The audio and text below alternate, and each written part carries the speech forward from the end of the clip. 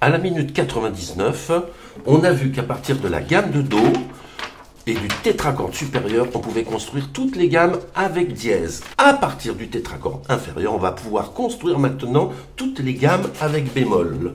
Donc comment on fait? On prend le tétracorde inférieur, Do, Ré, Mi, Fa, je l'ai mis à l'octave supérieure, et là je vais remplir avec les notes de la gamme de Do. Ça va nous donner Fa, Sol, La, Si, Do, Ré, Mi, Fa. Mais regardez, la place des demi-tons, elle n'est pas bonne. Là, c'est troisième, quatrième.